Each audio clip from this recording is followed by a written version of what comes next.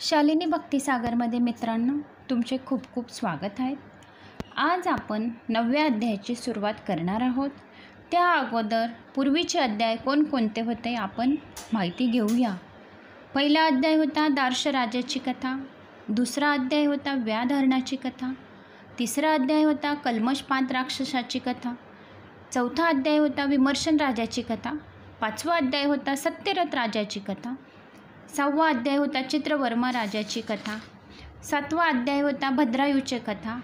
आणि आठवा अध्याय होता भद्रायूच्या लग्नाची कथा. आता आपण नवव्या अध्यायाला आज सुरुवात करणार आहोत. आणि नववा अध्याय आहे वामदेवाची कथा. या कथा खूप सुंदर आणि मनमोहक आहेत. या कोरोना वैश्विक वैश्विक कालमध्ये ह्या कथा तुम्ही रोज ऐकून घ्याव्या. कारण त्याच्याने खूप फरक पडतो. जवळ एक पाण्याची बाटली या ग्लास ठेवायचा आणि तेच पाणी आपल्या माठामध्ये बी टाकले तरी पण चालेल. कारण त्याच्याने खूप फरक पडतो.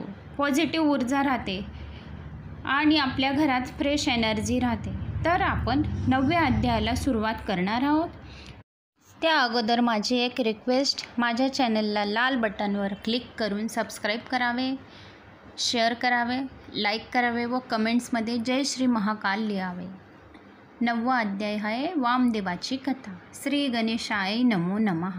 जी शिवनामाचा सतत घोष करतात त्यांना कळी काळ देखील कधी स्पर्शसुद्धा करू शकत नाही. या पावन अशा शिवनामाची ज्याला आसक्ती लागलेली आहे त्याला पुन्हा पुन्हा जन्म मरण नाही. विषय सुखात ज्याप्रमाणे माणूस रममान होतो त्याप्रमाणे जर तो मनापासून शिवनामस्मरणात दंग झाला तर त्याचा जन्म मरण्याचा फेरा कायमचा चुकतो. आयुष्यात सतत नुसते धन आणि पैसा मिळवण्याऐवजी शिवचरणाचे ध्यान केले पाहिजे. तर त्याच्यावर केवढी पण मोठी मोठी संकटे आहेत ते कधीच येणार नाहीत. शिवाचे ध्यान करणारे पुरुष खरोखरच धन्य होत असतात. त्यासंबंधी आता तुम्हाला एक व्यासमुनींची एक कथा सांगत आहे. ही लक्षपूर्वक ऐका मित्रांनो. फार वर्षापूर्वी एका वनात वामदेव नावाचा महाज्ञानी पुरुष राहत होता. दिशा म्हणजे त्याचे वस्त्र होते आणि सर्वांगाला भस्मपासून नेहमी कडकडीत असे उपास करून दिगंबर अशा स्थितीत तो एकटाच इकडे तिकडे त्या रानात फिरत असे. हे सारे विश्व शिवमय आहे अशी त्याची मनाची पक्की श्रद्धा होती. त्यामुळे त्याला कशाचा सुद्धा खेद नव्हता. कसलीसुद्धा खंत नव्हती. हा वामदेव नेहमी मौन पाळत असे.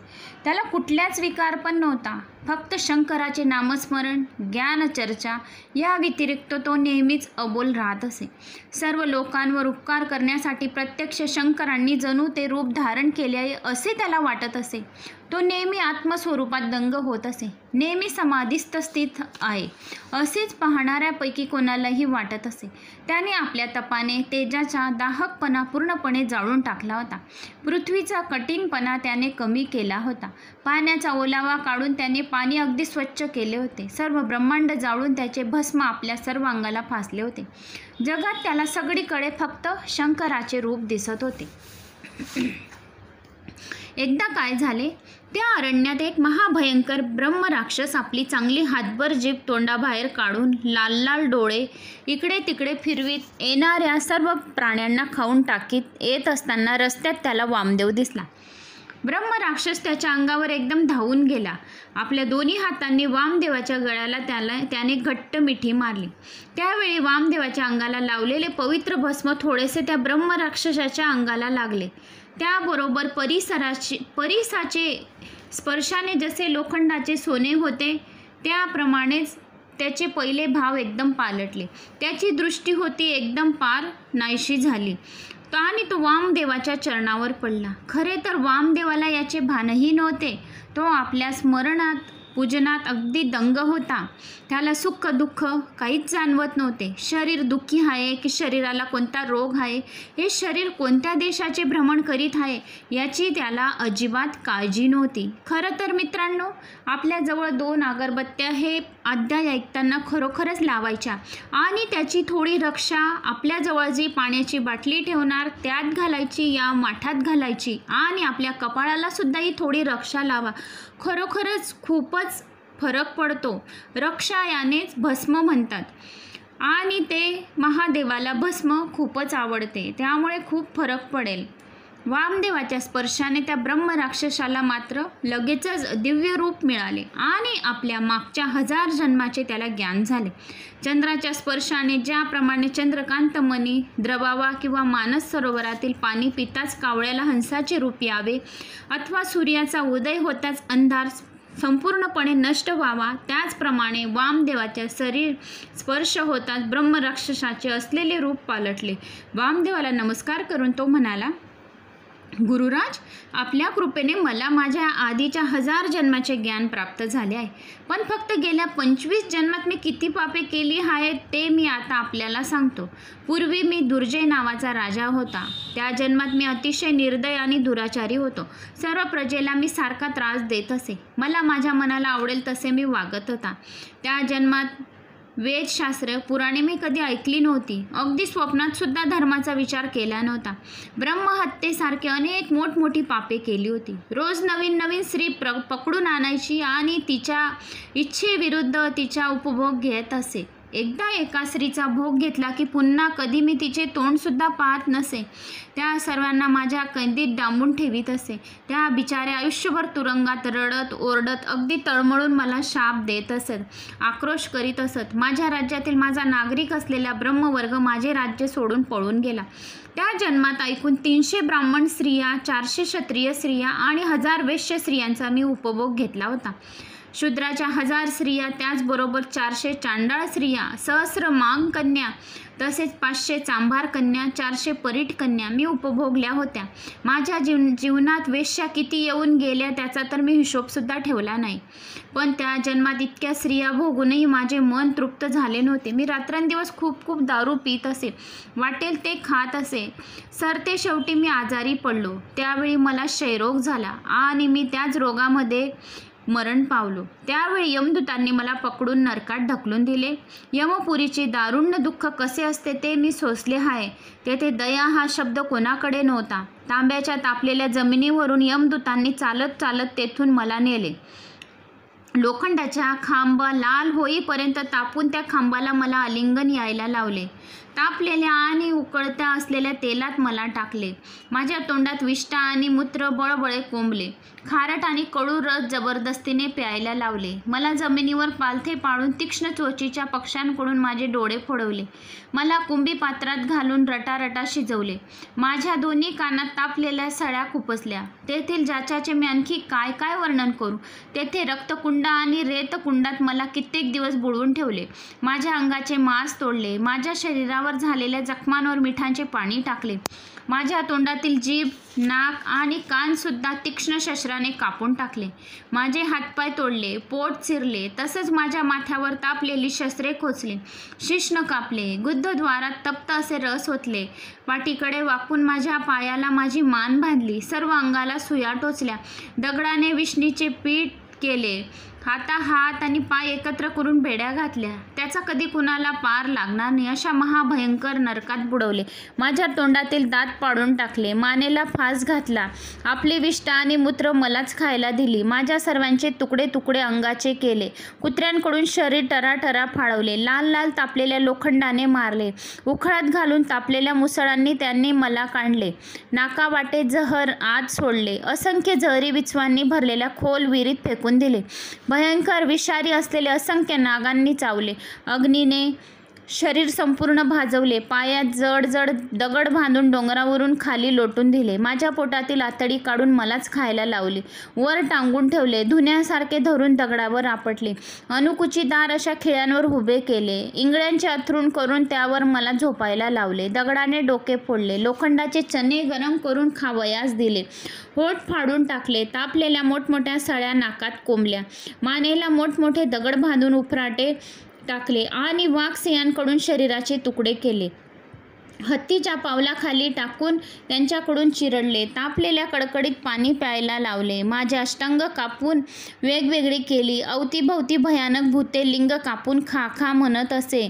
माझे सगळे साधे खटाखटा मोडून टाकले. भूमीवर शरीर पुरून त्याच्या बाणांचा वर्षाव केला. टोकदार सुरळावर पालथे ठेवून वर मुसळांनी कुटले मग मला माझे पुन्हा पायाला दगड बांधून नरकात फेकून दिले. काचा शिशे यांचा अत्यंत तप्त रस करून प्यायला लावला. अशा अत्यंत भयानक अशा नरक यातना मी तीन हजार वर्ष भोगल्या. या यातना भोगताना दरवेळी शरीर नष्ट होत होते पण प्राण तर जात नाही. त्यामुळे ज्या सर्व यातना सोसाव्या लागतात त्या समजतात. मग यमदूतांनी मला व्याघ्र जन्मात ढकलून दिले. त्यानंतरचा जन्म मी अजगर झालो. त्यानंतर पुढच्या वेळी मी लांडग्याचा जन्म घेतला. चौथा डुकराचा जन्म घेतला. नंतर सरपटणाऱ्या वर्गातील सरडा बनलो. सहाव्या जन्मात कुत्रा नंतर सातव्या जन्मात कोल्हा झालो आणि दुसऱ्या प्राण्यांच्या उष्ट्या शिकारीवर जगलो. पुढच्या आठवा गेंडा झालो. नववा जन्म रानामधील झाडावरच्या माकडांचा घेतला. दहावा जन्म अतिशय कष्ट करणाऱ्या गाढवांचा घेतला. मग मुंगूत झालो. तेराव्या जन्मी मी पक्षी कुळातील बगळा झालो. चौदाव्या जन्मी उकरड्यावरचा कोंबडा झालो. नंतर पापी गिदड्याच्या जन्मात गेलो आणि मृतजनीवर जनावरांची सडलेली शरीरे खाल्ली. त्यानंतर माजरांचा जन्म झाला. त्यानंतर डबक्यातील बेडूक बनलो. अठराव्या जन्मी कासव झालो. नंतर पाण्यामधला मासा बनलो. माशानंतर मला उदराचा जन्म आला. नंतर मी निशाचर अशा घुबडाचा जन्म घेतला. बावीसवा वनदिव्य राजांचा जन्म घेतला आणि उष्ट्र जन्म घेतला. नंतर पापी निषेधाचा जन्म घेतला. या जन्मातही मी खूप प्राण्यांची हत्या केली आणि त्यानंतर मला हा भयंकर राक्षसाचा जन्म प्राप्त झाला. स्वामी महाराज केवळ आपल्या कृपेने मला ज्ञान प्राप्त झाले. मी आता पावन झालो आहे. गंगेच्या पवित्र जलाच्या स्नानाने पापे नाहीसे होतात. तसे दत्ताच्या दर्शनाने सारा भवताव नाहीसा होतो. जसे कल्पवृक्षाचे केवळ दर्शनाने जन्मभराचे दैन्य नाहीसे होते तसे तुमच्या दर्शनाने माझे मागचे सर्व पाप नष्ट झाले आहेत. राक्षसाच्या भाषण ऐकून वावदे वामदेव म्हणाला फार एक पूर्वी एक ब्राह्मण होता. एक शूद्र स्त्रियेवर त्याचे अतिशय प्रेम होते. शूद्र स्त्रीच्या पतीने एकदा या दोघांना एकत्र पाहिले आणि त्याचा राग एकदम खूप उपाळला त्याने ब्राह्मणाला मारून गावाबाहेर नेऊन टाकले आणि त्याचा अंत्यसंस्कारही तेथे कोणी केला नाही. यमदूतसुद्धा त्याला मारत मारत घेऊन गेले. त्याला त्यांनी तेथे खूप त्रास दिला. ब्राह्मणाचे प्रेत तसेच गावाबाहेर पडलेले होते. तेवढ्यात काय झाले? शिवालयासमोरील भस्मात लोळून एक कुत्रे वेशीबाहेर पडत पडत आले आणि त्या ब्राह्मणाच्या पेता प्रेतावर जाऊन पडले. शिवाच्या भस्माचे काहीही कण कुत्र्याच्या अंगाला चिटकलेले होते. ते शिवाचे भस्म अंगाला लागताच ब्राह्मणाचे पूर्वी केलेले सगळे पाप नष्ट झाले. यमदूतांनी त्याला नरकात ओढून बाहेर काढले. शंकराने आपले विमान पाठवून त्या ब्राह्मणाला आपल्या कैलास पर्वतावर आणले. आणले व आपल्याजवळ स्थान दिले. असे हे शिवभस्म अतिशय पवित्र आहे. राक्षस हात जोडून म्हणाला महाराज कृपा करून या भस्माचा आणख्या महिमा आपण सांगावा. भस्म चांगले कोणते? ते कसे लावावे? हे कृपा करून मला नीट समजावून सांगावे तेव्हा वामदेव पुढे सांगून म्हणाला एका अतिशय उत्तंग अशा मंदारगिरी पर्वतावर शंकर सर्व देवांसह बसले होते. यक्ष किन्नर गंधर्व उपदेव उप देव पिशांचे जनते ते महाशोभावताली कोंडाळे करून बसली होती. मरुद्गण पितृगण अकरा रुद्र अष्टवसू अष्टभैरव अष्टदिगपाल अठ्ठ्याऐंशी हजार ऋषी साठ हजार वालखिल्य ब्रह्मपुत्र पाताळनाग पृथ्वीवरचे पा महापावन राजे सर्वजण शंकराला वेढून त्याच्या सभोवताली बसले होते. नंदीश्वर सर्वात पुढे बसले होते. तेवढ्यात त्या ठिकाणी सनतकुमार आले आणि शंकराला नम्रपणे नमस्कार करून त्यांनी आपणास भस्म धारण करण्याचा विधी सांग सांगावा अशी विनंती केली. तेव्हा भगवान शंकर म्हणाले गाईच्या शेणा चांगले जाळून त्यांचे राख करावे. त्या राखेत माती मात्र अजिबातच येऊ देऊ नये. नंतर ती विभूती शिव गायत्री मंत्राने पवित्र करावी. आधी अंगठ्याने वर लावावी मग मस्तकाभोवती लावावी. विभूती लावताना तर्जनीचे बोट लावू नये आणि करंगळीही त्याच्यापासून वेगळी ठेवावी. कपाळावर दोन बोटाने विभूती लावावी आणि अंगठ्याने मध्यरेषी नंतर तर्जनीने न लावता तीन बोटांनी सर्व अंगाला विभूती. या भूषणामुळे आपली केलेली मोठमोठी पापे जळून पार भस्म होतात. अशा तऱ्हेने दारू पिणे ब्रह्महत्या अभक्ष भक्ष श भक्षण वगैरे सारे पापे पवित्र पवित्रसुद्धा असे शंकराचे शास्त्रसुद्धा भस्म लावले म्हणजे नष्ट होतात. शंकरांनी सनतकुमारास सांगितले हा भस्म महिमा वामदेवाने परत ब्रह्म राक्षसाला सांगितला. त्यामुळे तो ब्रह्म राक्षस नंतर दिव्य स्वरूप होऊन शंकराच्या रूपात मिसळून गेला. सत्संगीतीचा महिमा असा फार मोठा आहे. मंत्र तीर्थ देव गुरु यज्ञ ज्योतिष आणि औषधी यावर प्रथम आपला विश्वास पाहिजे. जसा ज्याचा भाव असेल तसा त्याला त्या त्या गोष्टीचा गुण येत असतो. फार फार वर्षापूर्वी पांचाळ देशात सिंहकेत नावाचा एक पराक्रमी राजा राज्य करीत होता. एकदा फार मोठे सैन्य घेऊन तो शिकारीला गेला होता. त्या रानावना शिकारीसाठी हिंडत होता. त्याच्याबरोबर अनेक भिलही होते. अशा तऱ्हेने हिंडत असताना वाटेत एक फडके शिव मंदिर लागले. एक भिल त्या मंदिरात शिरला. मंदिरात फार पतझड झाली होती. तेथील शिवलिंगही वेडे वाकडे पडले होते. भिलाने आपल्या सिंहकेत राजाला ते शिवलिंग दाखवले. राजा म्हणाला लिंग तर फारच चांगले आहे पण डामडोल करून त्याची पूजा करण्यापेक्षा अतिशय मनोभावे भक्तीने त्याची पूजा करायला हवी. लोकांमध्ये आपणास भाव खाता यावा म्हणून देवाच्या प्रतिमा जागोजाग मांडून पाहिजे आणि भक्तीचा शुद्ध धंदा आहे. ज्याप्रमाणे ब्राह्मणाचा पवित्र वेश घेऊन यात्रेत वाईट कर्म करीत हिंडायचे त्याप्रमाणेच मनामध्ये भाव नसताना ईश्वर पूजा करणे म्हणजे शुद्ध दांभिकपणा आहे. महाराज मी खरोखर माझ्या मनापासून या लिंगाची शिवपूजा करेन. पण मला त्यासाठी अगोदर पूजाविधी कसा करावा ते समजावून सांगा. भील नम्रपणे म्हणाला. शबरा मग ऐक तर. पूजेचे तसे अनेक प्रकार आहेत पण तू असं कर रोज नवीन चिताभस्म आणून या मंदिराखाली लिंगाची पूजा कर. चिताभस्म स्वतः लावल्याशिवाय नैवेद्य दाखवू नको. राजाने त्याला सांगितले. राजाचे वचनप्रमाणे मानून शबराने ते लिंग तेथून उचलून आपल्या घरी आणले. आपल्या पत्नीला त्याने रानात घडलेली सर्व हकीकत ते सर्व वृत्त ऐकून तिलाही फार आनंद झाला. मग एक सुमूर्थावर त्या दोघांनी रानातील पडक्या मंदिरातून आणलेल्या त्या लिंगाची स्थापना केली. रोज नवीन चिताभस्म आणून दोघेही मनोभावे त्या लिंगाची पूजा करीत असत. पूजा झाल्यावर शबराची पत्नी शंकरासमोर नैवेद्य आणीत असे. मग दोघे प्रार्थना करीत असे. असे काही दिवस गेले.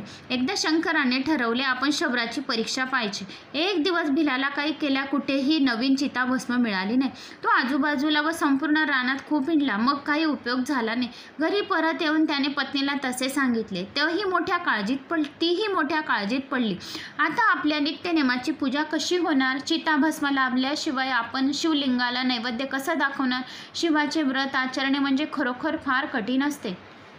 शबरी म्हणाली हे पा आता मी माझे स्वतःचेच भस्म करते. ते तुम्ही या शंकराला लावा व आपली रोजची पूजा पुरी करा. तिने म्हटल्याप्रमाणे शुद्ध होऊन स्वयंपाकघरात बसून तिने स्वतःला जाळून आपल्या भस्माचे भस्म करून घेतले. शबराने ते भस्म शंकराला लावले व नेहमीप्रमाणे शिवलिंगाची यथासांग पूजा केली. पण आता नैवेद्य आणायला तेथे दुसरे कोणी नव्हते. शंकराची एकारती झाल्यानंतर आरती झाल्यानंतर लगेच शिवलिंगाला नैवेद्य दाखवावा लागेल. विलंब झाला तर भगवान शंकर आपणावर अतिशय रागवणार कोपणार शंकर तसे सर्व अन्याय सहन करतो पण नैवेद्याला उशीर झालेला त्याला अजिबात चालत नाही. शबर शिवपूजनात मनापासून अगदी दंग होता. आपल्या पत्नीने जाणून स्वतःचे भस्म करून घेतले आहे तो अजिबात विसरून गेला. आणि एकार्थी होताच त्याने नेहमीप्रमाणे पत्नीला नैवेद्य घेऊ नये म्हणून हाक मारली. त्याबरोबर रंभेपेक्षा अतिशय दिव्य रूप पावलेली शबरी नैवेद्य येऊन शबराच्या मागे येऊन उभी राहिली. दोघांनी शंकराच्या मनापासून स्मरण केले. शिवलिंगाची पूजा संपल्यावर शबराने आपल्या दिव्यरूपी धारिणी नानविधी अशा अलंकारांनी युक्त अशा स्त्रीकडे नीट निरून पाहिले. आणि त्याला लगेच शंकराची आघात लहान लीला कळली त्याबरोबर तोही शिवरूपात मिसळून गेला. दोघांना नेण्यासाठी आकाशातून भगवान शंकराचे दिव्य विमान खाली आले. मंगलवाद्य वाजत होती. स्वर्गीय पुष्पांचा गंध सगळीकडे दरवडत होता. सिंहकेत राजा आपल्या मनात खूप खूप आश्चर्य करीत होता. त्याने विनोदाने त्याला भिलेला भिलाला पूजेचा प्रकार म्हणून चिताभस्म लाव असे सांगितले ते भिलाने मात्र ते खरे म्हणून भक्तिभावाने त्याने सांगितलेल्या गोष्टीचे तंतोतंत पालन केले. त्याला शबर आणि शबरीच्या एक निष्ठेचे कौतुक वाटले खरी भक्ती केल्याशिवाय कोणालाही शिवशंकर प्रसन्न होणे शक्यच नाही. शबर शबरीच्या भक्तीप्रमाणे जर आपण भक्ती केली तर देव आपल्या जवळसुद्धा आहे. यामधून सिंहकेत राजालाही शिवभजन करण्याचा छंद जडला. तो शिवलीला अमृत नेहमी ऐकू लागला. शिवरात्र प्रदोष सोमवार ही व्रते नियमितपणाने करू लागला. सत्पात्रे दान करू लागला आणि शेवटी तोही शिवपदास पोचला. शिवभजनाचा शिवपूजेचा महिमा खरोखरच अत्यंत अगम्य आहे असा. श्रीधर कवींनी काव्यवेल आता पूर्णपणाने बहरली आहे. शिवलीलामृत मंडपावर चढली आहे. तिची दाट छाया खाली सर्वत्र पडली आहे.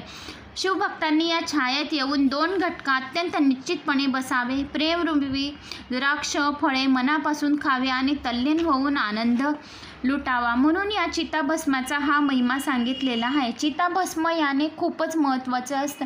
आपण नुसते अंगालासुद्धा लावले तरीसुद्धा जिथे दु जेथे आपले काही दुखत असेल तेथे भस्म लावली शिवाच्या नावेने तर ते दुःख नाहीसे होते हे खोटे नाही आहे. म्हणूनच हे चिताभस्माचं महत्त्व इथं सम श्रीधर कवींनी सांगितलेलं आहे. तर मित्रांनो तुम्हाला जर माझा हा अध्याय आवडला असेल तर लाईव्ह सबस्क्राईब करावे. कमेंट्समध्ये जय श्री महाकाल लिहावे. जय श्री महाकाल.